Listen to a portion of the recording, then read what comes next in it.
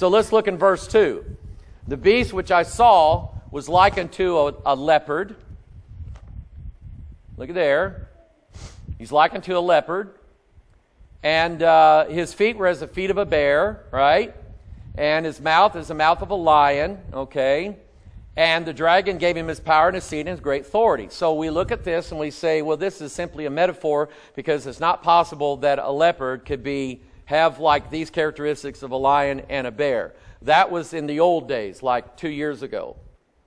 Okay? Nowadays, there are creatures that have DNA from multiple other species that we we now know how to rewrite and put that stuff in and make whatever creature that we want to. They're releasing genetically modified mosquitoes all throughout Africa. These mosquitoes cannot pass on malaria. But what are we doing? When we genetically modify an entire species of mosquitoes, do we really know the full outcome?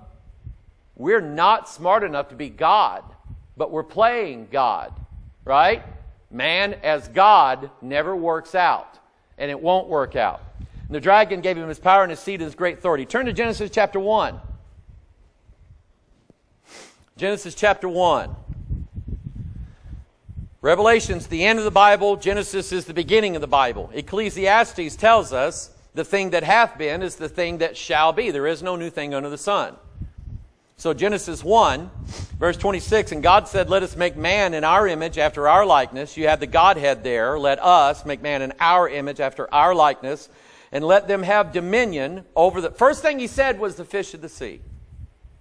First thing he said, the beast coming up out of the sea. So, do you believe that man has dominion over the fish of the sea? So we can pull fish out and leave them on the bank, or we can eat them, or we can throw them back, or we can do whatever we want because we have dominion over them. They don't tell us what to do. We have dominion over them. We can eat them, or we cannot eat them. do you believe we have dominion over chickens? Praise God, we have dominion over chickens. Amen. Over the fowl of the air, and over the cattle, and over all the earth, and over every creeping thing that creepeth upon the earth. In verse 28, God blessed them, and God said unto them, Be fruitful, multiply, replenish the earth, and subdue it, and have dominion over the fish of the sea. There he said it again fish of the sea, and over the fowl of the air, and over every living thing that moveth upon the earth. And here's my question. In Genesis 1, we clearly have dominion over beasts. But at the end of the Bible, now God has given beasts dominion over man. The dog telling us what to do, or the cat Cats, especially. Amen? Cats are like, get off my couch. Right? You cat people, you're, on, you're in my living room. Get out. Wag that tail, stare at you like that. That longhorn that you got out here, we drove past it and that thing was looking at us like, this is my tree. Keep on moving. The beast, God's going to give the beast dominion over the man. Man had dominion, man's own transgression, man lost that dominion. And now God's going to let the wild beast have dominion over man. God's going to let a beast that has nothing but a terrible demeanor about it to have absolute and total dominion over all of mankind. Uh, Genesis 9, the same thing. The fear of you and dread of you shall be upon every beast of the earth, and upon every fowl of the air, and upon all that moveth upon the earth, and upon all the fishes of the sea. And your hand are they delivered. Now turn to Job 41, because in Job, we're actually given God's own description of what a beast out of the sea would be like. Job 41, turn there in your Bibles, because I may read more verses than what's up on the screen. Job 41, verse 1. I like Job 40 and 41 because they talk about dinosaurs, and I like dinosaurs. You turn me loose on library day, and that's the first thing I went looking for was brand new dinosaur books in the library. Okay, I believe in them, and I believe that God created leviathans and behemoths on the same day that He created man. Amen? That's good. See, I believe man walked with dinosaur. Dinosaur walked with man. They did not come 65 million years earlier because there wasn't no 65 million years to be earlier. It just wasn't that way. Canst thou draw out Leviathan? We have two, we have two beasts in Job 40 and 41. Job 40, we have Behemoth. Behemoth is not a hippopotamus. It's not. Even though the marginal note in some of your Bibles say, mine, my Bible says hippopotamus. The behemoth has a tail like a cedar. Hippopotamus got a little bit, little, little, little, little wiggly deal, like a straw, not a cedar. Amen. So this was not a hippopotamus, was not an elephant. It was not an alligator. This was a huge large behemoth of a creature that could draw up the entire Jordan River with one drink.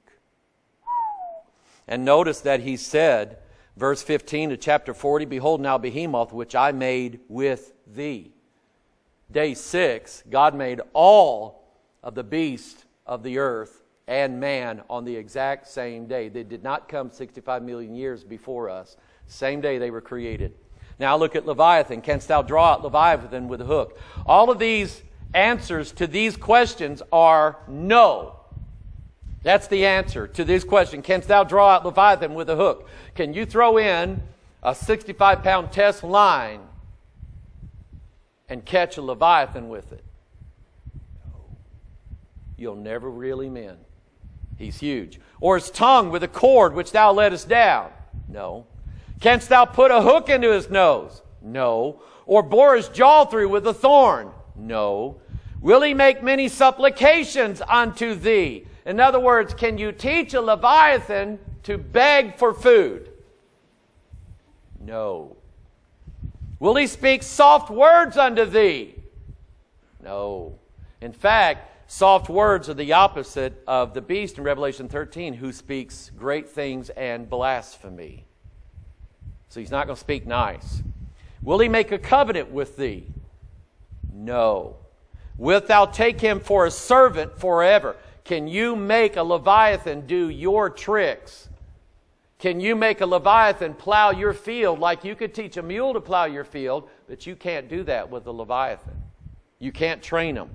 That you not make you will not make a Leviathan your servant. You are going to be his. So look at verse 5. Wilt thou play with him as with a bird?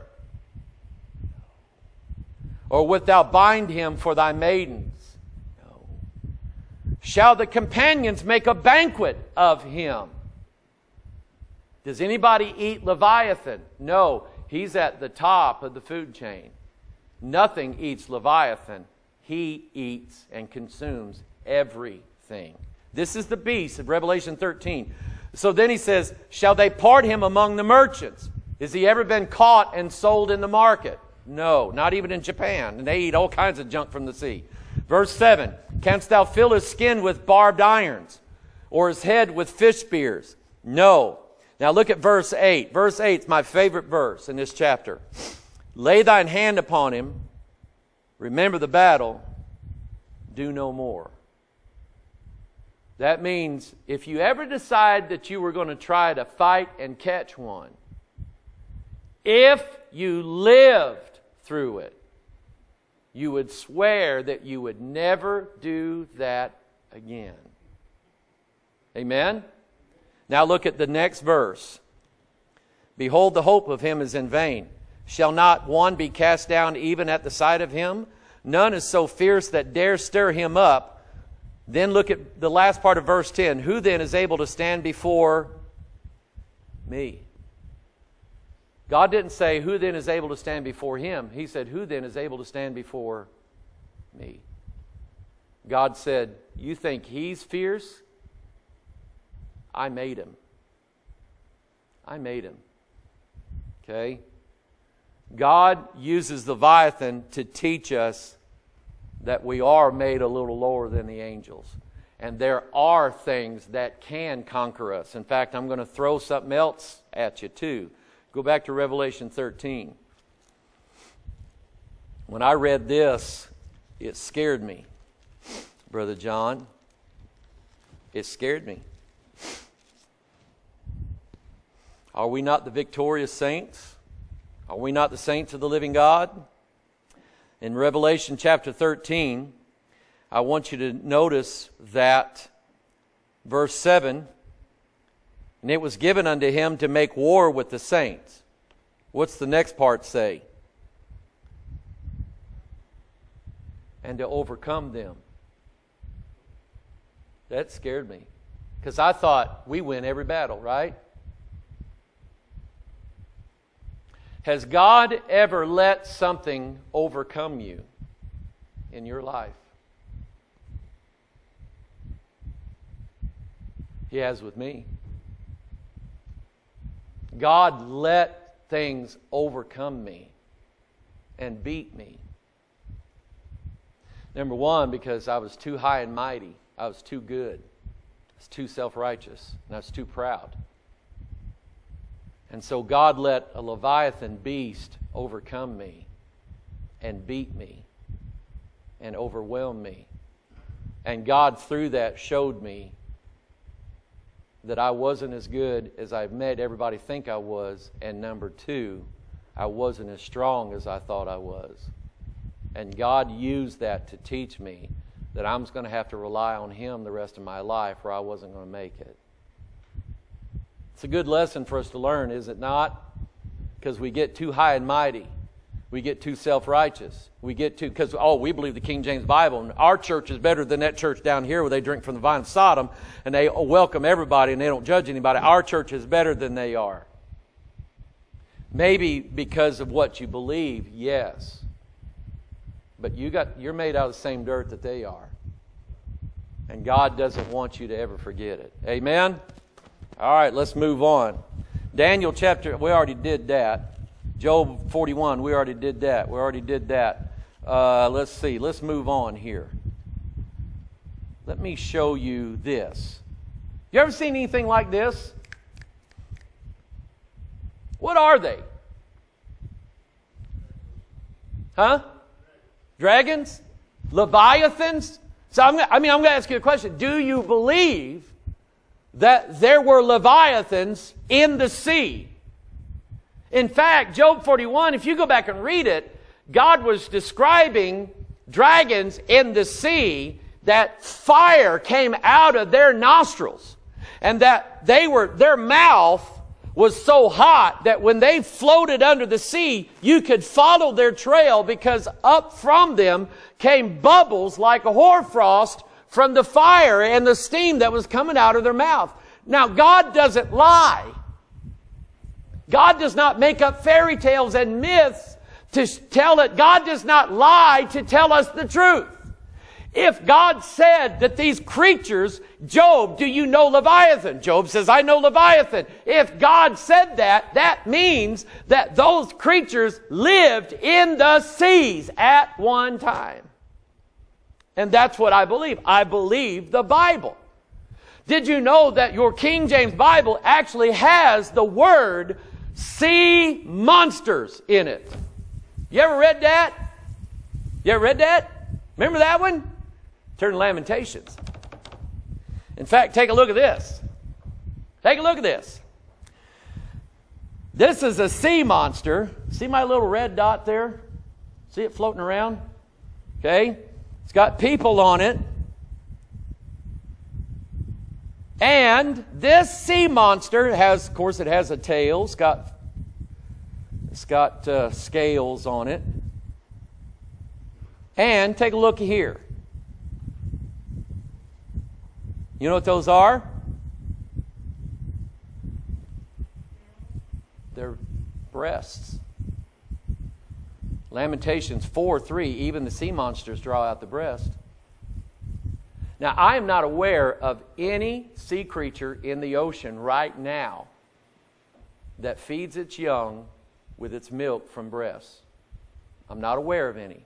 Maybe I don't know everything. But I know the Bible was right when it described sea monsters that draw out the breast because whoever drew this picture saw them. See, your Bible, when it tells you these things, you can and should believe what your Bible's telling you. Amen? So if the Bible said that these things existed at one time, and we don't believe that, if we can't believe the Bible's telling the truth about the past, how can we then believe the Bible's telling the truth about what hasn't even happened yet? So, if we're going to believe the Bible for telling the truth about what hasn't happened yet, why don't we believe the Bible when it tells us of things that has already happened? Like sea monsters that draw out the breast. Okay? Now, let's take a look at the symbolism of the sea. Turn to Exodus 15. We're going to look at the sea. We're going to look at why he comes out of the sea. What does it mean when it means he comes out of the sea? Does it literally mean the body of water of salt? So, yes, I believe that. I believe it means exactly that. But is there, as with many things in the Bible, does it actually mean something deeper? Does it have a deeper significance to it? Does it have a symbolism to it whereby the Bible then is going to explain the symbolism? Yes. 15:1 Then sang Moses and the children of Israel this song unto the Lord and spake saying I will sing unto the Lord for we have triumphed gloriously the horse and his rider hath he thrown into the sea. So the beast is going to come out of the sea. Why is he there? God threw him in there. Okay, that's what I think this is telling us. I think the Bible's telling us that he's there because God put him there, put him in the sea. So, what does the Bible mean when it talks about the sea? Isaiah 57 20. But the wicked are like the troubled sea. He's actually making a comparison. Here we have the sea, and we have the wicked. Can you think of a story in the Bible where there was a troubled sea? First one that says it. I'll. Huh? Jonah. Very good. And when Jonah was in the whale's belly in Jonah chapter 2, where did he say that he was? Huh? Belly of hell. He said he was in the belly of hell. He was actually equating this sea monster, this whale, with hell. Okay? Give me another story where there's a troubled sea. There you go. Okay? So are we not like Peter, James, and John? Are we not, if the wicked are like the troubled sea, are we not like they in a troubled sea right now? Are we not surrounded by the wicked? Especially when we go to Walmart. We were in there and Caleb was going, Dad. yeah, I see it, son. I can't believe it, but I see it. Are we not surrounded by the wicked? Are we not surrounded by wicked churches? So there are no Muslim mosques in Laclede County, are there? There are no Buddhist temples? No. But you've got paganism. You've got idol worship. You've got wicked religious practitioners all around you and you don't have a Buddhist temple anywhere, you don't have a Muslim mosque, but you are surrounded by the wicked. So, right now, we are like the disciples in the troubled sea. We're surrounded by the wicked. And it bothers us because we're having to raise our children and our grandchildren. And it scares me to death. I have 10 grandchildren, one's in heaven, and I don't like the world that my grandchildren are growing up in. I'm keeping them very, very close. Very close. So our Lord comes to us and says, Peace, be still. Amen. Jeremiah 6:22. Thus saith the Lord, Behold, a people cometh from the north country. We was talking about that earlier. And a great nation shall be raised from the sides of the earth. They shall lay hold on bow and spear. They are cruel and have no mercy. Their voice roareth like the sea. So now we're talking about, number one, we're talking about the wicked.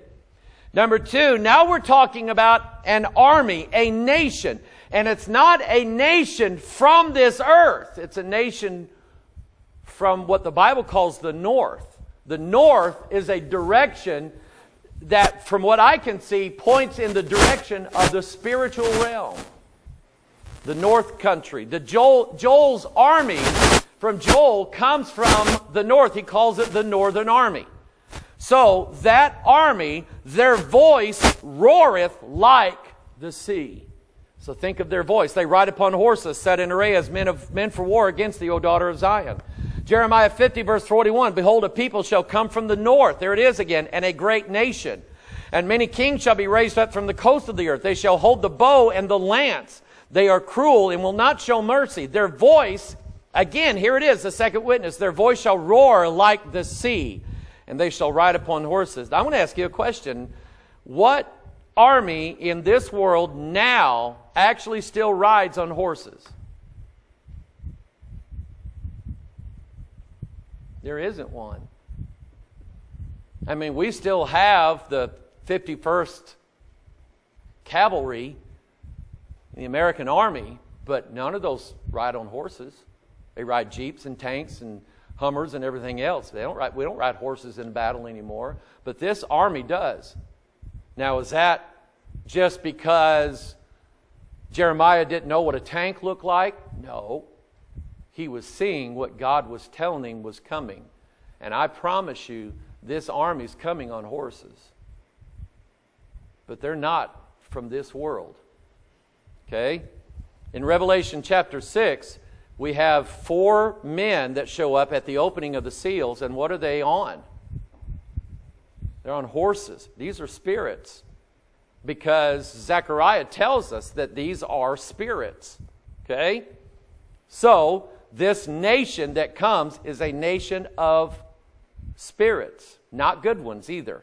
Their voice shall roar like the sea. Ezekiel 26, 3. Therefore, thus saith the Lord God, Behold, I'm against thee, O Tyrus, and will cause many nations to come up against thee as the sea causeth his waves to come up. Now he says many nations.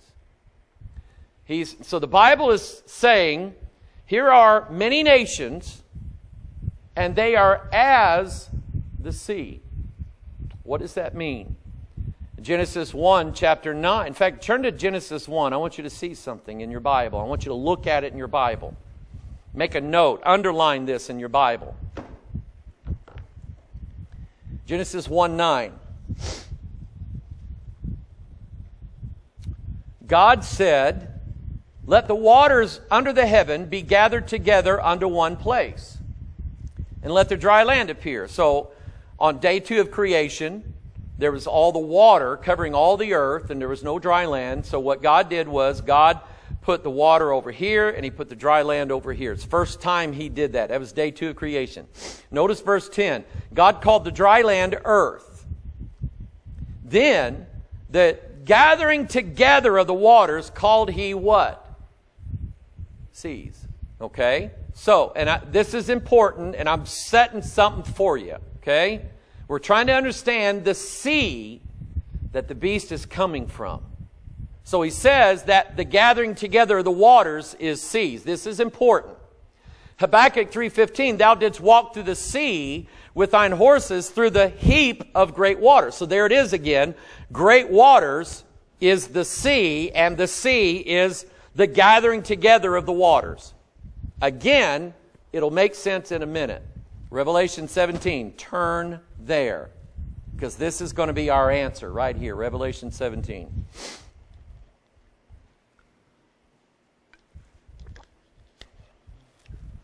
Where, and this is answering the question where's the beast going to come from?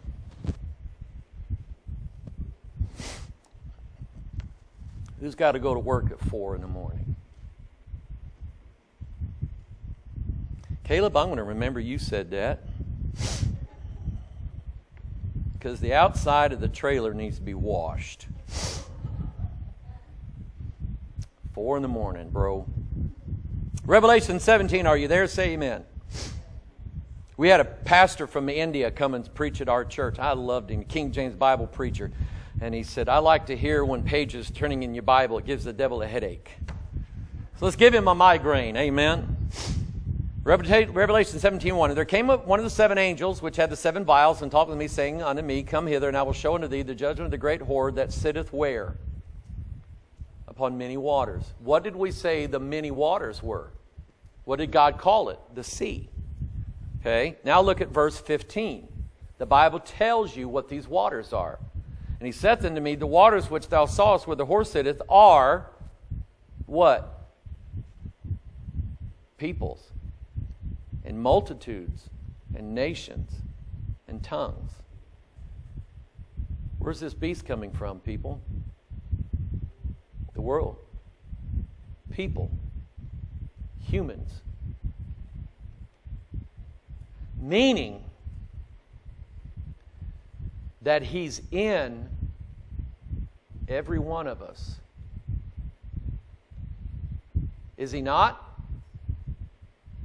Do you not have something in you that, as a born again, Bible believing Christian, you hate? And it's a part of you that you cannot make it do what it doesn't want to do, and you can't stop it from doing what it wants to do. A part of you that you hate, a part of you that does things that you don't want to do, and it doesn't do things that you want to do. Does that make sense to you? Because I'm quoting Bible here. Okay? There's a little beast in every one of us. It's a part of our flesh that should be killed every day, crucified, destroyed. I'm crucified daily. Okay? Take up thy cross daily, Jesus said, and follow me. Why? Because there's something in us that needs to be killed every day. And it does things that we don't want done, and it doesn't do things that we want to do. Like when you want to pray and you can't. Or when you know you need to read your Bible and you don't. And there's something in you saying, don't read it, don't read it, don't read it. You ever had, is that just me? Is that you, preacher? Is that you? It is you. He's, in fact, I'll tell you who he is. Turn to Romans 7. Romans 7. See, the beast, the sea, is the waters. The waters are the people, multitudes, nations, and tongues. It's humanity. It's, it's us. There's something in us. And here's what Paul called it. Romans 7 verse 17. Now then, it is no more I that do it, but sin that dwelleth in me. What was one of the other names of the beast? The man of. See? He's in there. He's in there. For I know that in me, that is, in my flesh, Paul was very distinct on separating the two Pauls. The Paul that wants to serve God and pray and labor in the scripture and preach and make disciples and do good and never sin. And then there's the Paul that won't let him do any of that. So Paul said, I know that in me, that is in my flesh, dwelleth no good thing. That's what it's called. There's, nothing, there's a part of you that is absolutely no good. Now, that church down here that doesn't judge anybody, they'll never tell you that because you can have your best life now, right? But this Bible will tell you different. There's something in every good church member, every Bible believer, that keeps them from doing what they want to do, keeps them from doing what's right, that does things that you don't want it to do, but it's not you anymore that's doing it. It is no good thing that dwelleth in you. It is sin that dwelleth in you. For the will is present with me, but how to perform that which is good, Paul said, I find not. It's in our seed. Because John passed it down to Jessica. Poor Jessica. And Jessica passed it down to her. What's your name? Tony? Poor thing. You're just like your grandpa, aren't you? Right? That's why she was born a sinner, and she was born a sinner, and he was born a sinner, and his mama, she was a great lady, she was born a sinner, and her and mom and daddy were born sinners. And it came all the way from who? Eve. That's how it got in there. Turn to Genesis 3. That's how it got in there. It was seeded in her. Okay? Now, let me go back to this. You've heard me talk about DNA, right? DNA is in the cells of your body. It is a book of every member of your body. It is the instruction manual on how to put the barbecue grill together, right? Every barbecue grill has an instruction manual on how to put it together.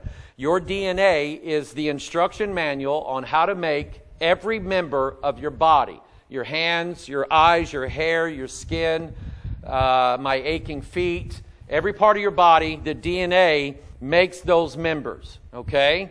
And your DNA is in all your cells, and in all your cells, you have 46 packages of DNA. Think of it like like your refrigerator has 46 Tupperware dishes, which is probably not too far from being true, right?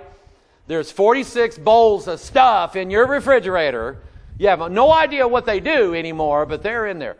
So every cell in your body has 46 containers called chromosomes, and that's where all your that's where all the books of your genes are stored. Okay? When the when the devil spoke to Eve, in Genesis 3. I counted those words, starting out with, Yea, hath God said, You shall not eat of every tree of the garden. Going down, you shall not surely die, for God doth know in the day you, then your eyes shall be open, you shall be as gods knowing good and evil. That's 46 words.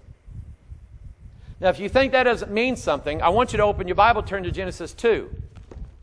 Genesis 2. Come on. Give the devil a headache here. Turn to Genesis 2. I want to show you, I want to show you how right this I mean, your church says, authorized 1611 King James Bible. Do you mean it? Well, it's close. Genesis 2. I want to show you something cool. Because I had 23 chromosomes. My wife had 23 chromosomes. When we conceived our first child, she received 23 from my wife and 23 from me. That gave her 46. And that's how it works. With every child conceived in the world, they get 23 chromosomes from mom and 23 chromosomes from dad, and they're joined together. That gives each child 46 chromosomes, and that's the package of all their DNA together. Now I'm going to show you something neat from your King James Bible. In Genesis 2, Look at verse 23. Isn't that interesting? Verse 23. And Adam said, This is now bone of my bones. Who wants to count all these words? You want me to do it for you? I already did. There's 46 words here, and I want you to read those words. This is now bone of my bones and flesh of my flesh. She should be called woman because she was taken out of man. Therefore shall a man leave his father and his mother and shall cleave unto his wife, and they shall be one flesh. You see, Genesis 2, verses 23 and 24 tell you how little babies are made. The man and the woman cleave together, and they literally become one flesh, one child. 46 words here in your King James Bible. And the child is 23 from dad and 23 from mom together to make 46 chromosomes. Your Bible's right. Numerically, it's right. So, back to Genesis 3. When the devil spoke these words, he seeded something. Turn to Matthew 13. Matthew 13. Does your feet hurt sitting down there? Mine are killing me. Genesis or Matthew 13. You actually have a story illustrating this in your Bible. Matthew 13. Verse 24. Matthew 13, 24.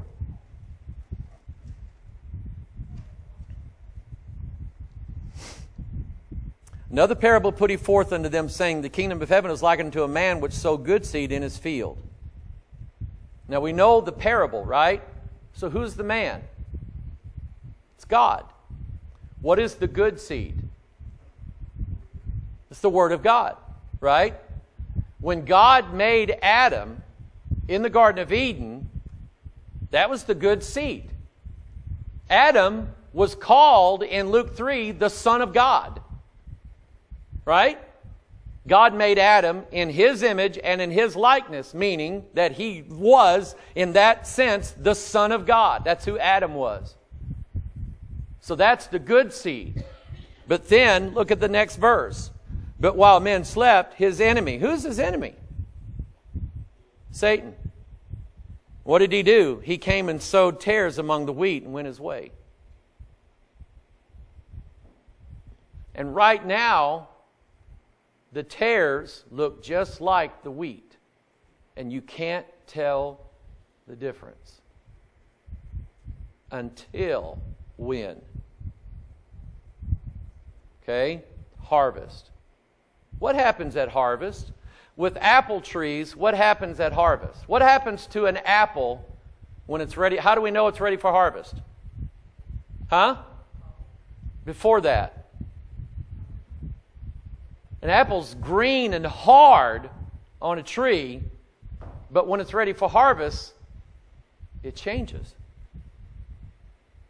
It changes color, softens. That's how we know it's ripe. Peaches, peaches are green as grass and hard as a rock on the tree until the harvest. At harvest, they change. Right? Wheat is green as grass until harvest. And what is what happens? How do we know it's harvest? It changes, transforms. When is harvest with us? Right now, we're just green as grass. But then we're going to transform. We're going to change, John. Amen. That's what that's what happens at harvest. Is it's going to be a transformation. With us, we're going to be transformed into the image of God's dear Son, Jesus Christ. Okay? What happens with the rest of the world? They're going to change as well. They're going to be born again, but not of corruptible, incorruptible seed. They're going to be born again of corruptible seed. And what was the corruptible seed? It's right there in Genesis 3. The devil seeded, he planted. What are we made of? Dirt of the earth, the ground. When God puts His word in us, He's sowing seed, just like you would put a seed in the earth. We're of the earth, and God put a seed in us because we're made of dirt. What did the devil do? He put his seed also the same place God put his good seed. And they're growing together. Because this is where he put it. He put it in us. The peoples, multitudes, nations, and tongues are the sea that the beast is going to rise out of. He's in us right now. There is, and I have a ton of information on this, and I don't have it ready for right now. You know what? I want to move through some of this, and I want to kind of set you up for tomorrow night. Can we do that? Let's look at the seven heads very quickly. Revelation 13, turn back there. Now, the good thing is we're recording this, And so if you are lost, I don't mean lost like you're going to hell lost, but if I'm kind of going over your head, here's what you can do. A lot of this stuff I've taught in other lessons. So what you can do is go to Sermon Audio and watch all 2,500 sermons I have on there and catch up. And then you can go and watch these, all right? No. I'm trying to, I'm trying to, I'm trying to bring enough scripture together so that we understand at least as much as we can who this beast is, what he is, what he's doing, what he's going to do, where he's coming from, and how we can recognize him. Because we go back to Second Thessalonians, if we believe that the falling away happens first before our gathering, that also means the man of sin is going to be revealed.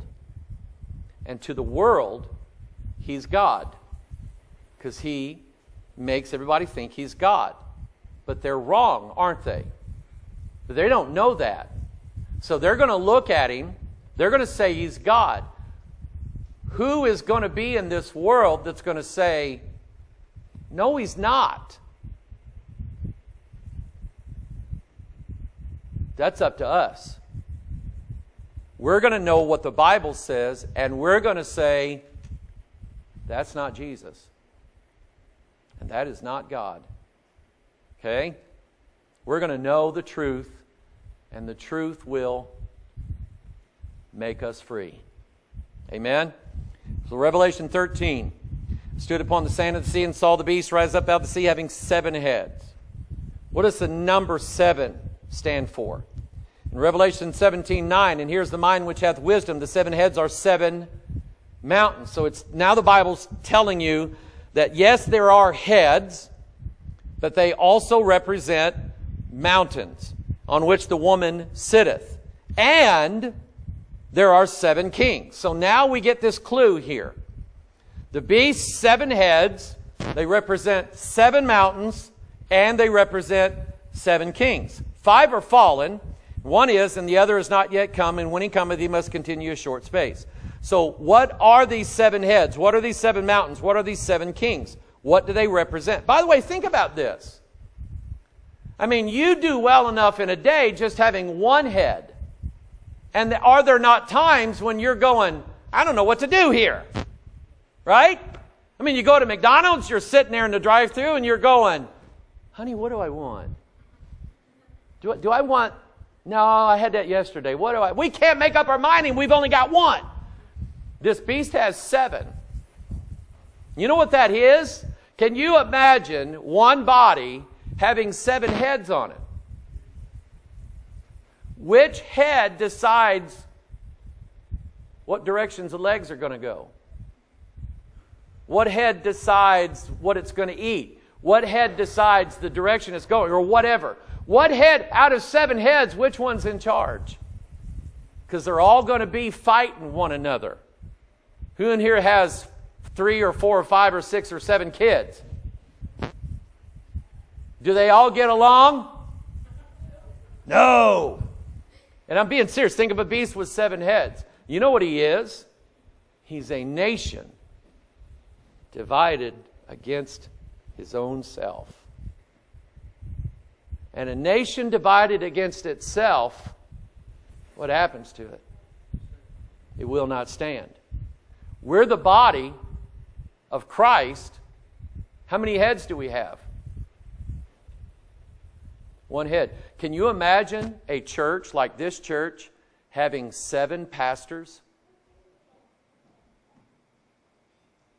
Seven pastors. If I were to get seven of my closest pastor friends, and John's one of them, there's no way in the world we'd agree on everything. Right? So, in a church, in a body, there can only be one head. This beast has seven heads. That's not good. It's not going to stand. All right? Uh, Revelation 4. Think of this it's the opposite of the seven spirits of God. Out of the throne proceeded lightnings and thunderings of voices, and there were seven lamps of fire burning before the throne, which are the seven spirits of God. So if the beast is the opposite of Christ, Christ according to Revelation 5 and Isaiah 11, Christ has the seven spirits of God. The Antichrist then does not have the seven spirits of God. He has seven heads. He has seven kings. All right? And they're like seven different spirits. Was there somebody in the Bible that had seven devils in them? Deuteronomy 7 When the Lord thy God shall bring thee into the land whither thou goest to possess it, and hath cast out many nations before thee, the Hittites, the Girgashites, the Amorites, the Canaanites, the Perizzites, and the Hivites and Jebusites. And if you want to count those, you can, but the Bible says there's seven. Seven nations greater and mightier than thou. That's what was in the promised land that possessed the land that Israel was going to go in and possess it. And God was going to kick them out. Those seven nations are a picture of those seven heads and those seven kings and those seven mountains. Mountains are like kingdoms in the Bible. All right? So these seven nations are like the seven heads of the beast. They are, and they're to be conquered. In Matthew 15, we have seven things, look at this, that proceed out of the heart of man that defiles him. Can you be defiled by what goes in to the body? No. You are defiled by what comes out of the body. Evil thoughts, murders, adulteries, fornications, thefts, false witness, blasphemies. Now, just asking in a general sense, who has these in them? I do. Remember, in my flesh dwelleth no good thing. Seven things. I have evil thoughts. You're not going to get to know what they are. Have I ever thought about murdering somebody lately? Adulteries, fornications, thefts, false witness, blasphemies. We have those in us. And we don't want them to come out, do we? No, but they're in us. Those are seven things, like the seven heads. Then we have Mary Magdalene. When Jesus was risen early the first day of the week, he appeared first to Mary Magdalene, out of whom he had cast seven devils. She had that in her.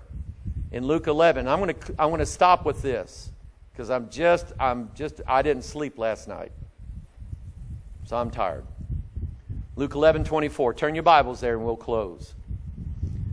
When the unclean spirit has gone out of a man, he walketh through dry places, seeking rest, and finding none. He saith, I will return unto my house whence I came out. And when he cometh, he findeth it swept and garnished. Then goeth he, and taketh to him seven other spirits, more wicked than himself. And they enter in and dwell there. And the last state of that man is worst, worse than the first. John, have you ever seen somebody that was a real wicked sinner and they came to church and they bowed at the altar and you prayed with them and they were in here for a few months and then they left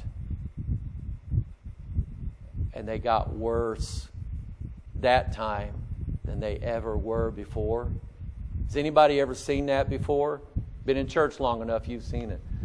That's that right there. That's what that is. Those seven devils that Mary Magdalene had, had they come back on her, they would have made her worse than she ever was. Fortunately, we don't think she we don't think that happened. We think she's in heaven now. She was a witness of the resurrection. But those seven devils, those seven unclean spirits, those seven kings of those seven nations in Canaan land, they're all pictures, photographs, symbols, stories that tell you what's, what the nature of the beast and why he has seven heads with him. It is the exact opposite of the seven spirits of God. You want to study Isaiah 11, those are the, that's where the seven spirits are. And all you have to do is look at what the opposite of each one of those is, and you'll figure out who that beast is. You'll figure him out. You'll know his nature and his character. People ask me, Pastor Mike, do you think Barack Obama is the beast? And I said, no. And they said, Why? I said, Because he doesn't have seven heads. Hillary, maybe. Maybe she's hiding them. I, don't know, but no. But anyway, I'm tired and you're tired, and I won't get into all this. We'll we'll pick this up tomorrow. Maybe I'll add some things to it. All right. Any questions? Anything I said that you're going, nuts here? Okay. Take everything I said, pray about it, think about it, make notes, go to your Bible, and then on the day when the beast is revealed, we'll remember that God taught us these things, and we'll go, that is not Jesus. Amen? Pastor John, come on.